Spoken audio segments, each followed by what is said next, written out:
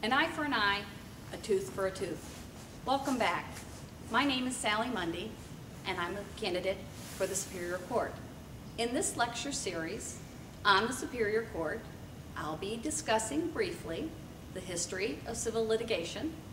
I will provide you with some examples, and I'll discuss briefly the judge's role in civil litigation.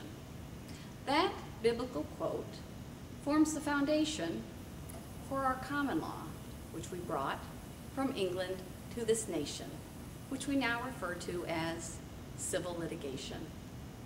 Many of you have heard the theory of civil litigation growing up as a child with the phrase, you break it, you buy it.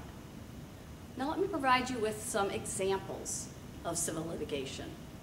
Automobile accident cases, medical malpractice actions, breach of contract actions, slip and fall cases. Suppose you're riding in an automobile and another driver runs a red light. He's negligent. He hits your car, he causes damage to your automobile, and you suffer bodily injuries.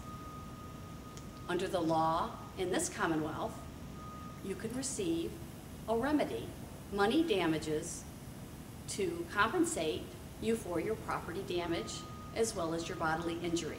That's civil litigation, receiving money for damages. Suppose you enter into a contract for the sale of goods. You provide the goods as contracted for, but you fail to get your payment. In our courts, you can obtain money damages for the money that's due to you under that contract. That's civil litigation. As a Superior Court judge, the judge's role is to determine, is to determine whether a trial court acted fairly and impartially to the litigants. The Superior Court's role is to determine whether the litigant received a fair trial. There are many that question whether or not there is too much litigation in our state. Whether they're right or wrong, I hope you can see by these examples that without the remedies provided, as we discussed, those harmed would not have any redress.